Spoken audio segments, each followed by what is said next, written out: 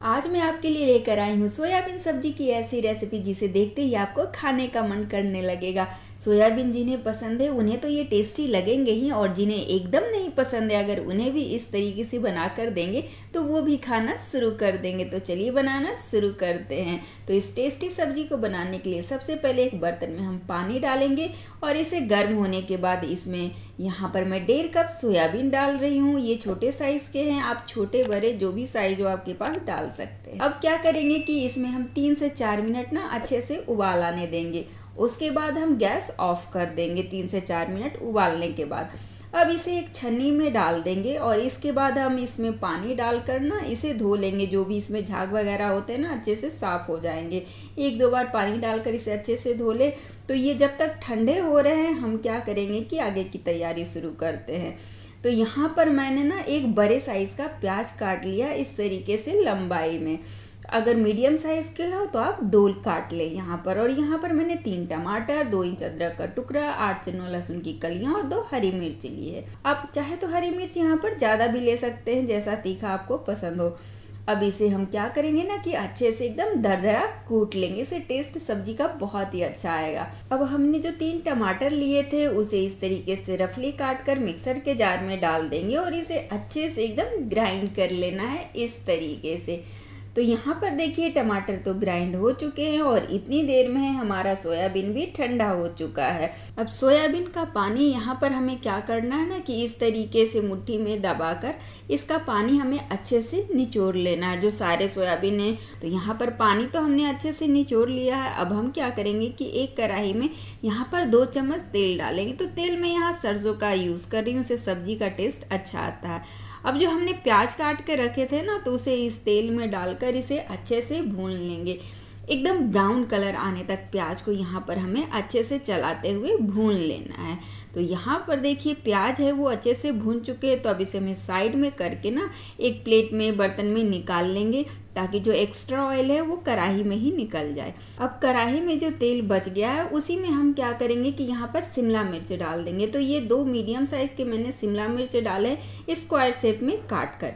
अब इसमें हम सोयाबीन भी डाल देंगे और इन्हें तेल में चलाते हुए अच्छे से मिक्स कर लेंगे। अगर शिमला मिर्च आपको नहीं पसंद हो तो आप यहाँ पर स्किप भी कर सकते कम ज़्यादा अपने हिसाब से भी डाल सकते हैं। अब इसमें आधा छोटा चम्मच जीरा पाउडर, चौथाई छोटा चम्मच काली मिर्च का पाउडर डाल देंगे। टेस्ट के अकॉर्डिंग नमक डाल देंगे। मतलब सोयाबीन और यहाँ शिमला मिर्च है ना, उस हिसाब से नमक डालेंगे। और इन्हें हम चलाते हुए तीन से चार मिनट अच्छे से भून लेंगे।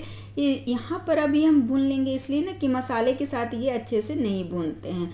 तो अब ये तीन से चार मिनट भूनने के बाद इन्हें हम निकाल लेंगे। और उसी कढ़ाई में मैं यहाँ पर दो चम्मच के करीब तेल फिर से डाल रही हूँ।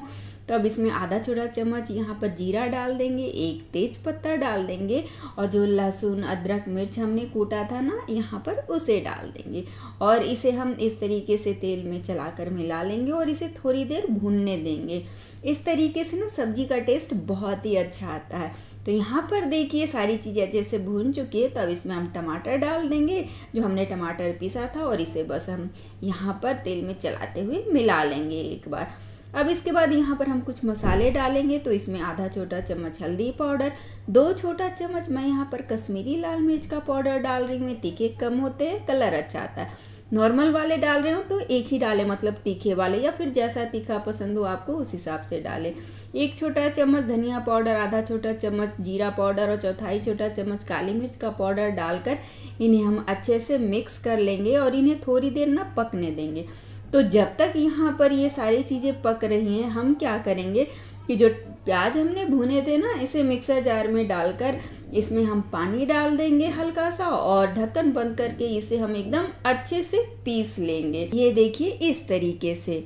और इधर इतनी देर में ये जो टमाटर और मसाले थे, वो भी अच्छे से पक चुके हैं।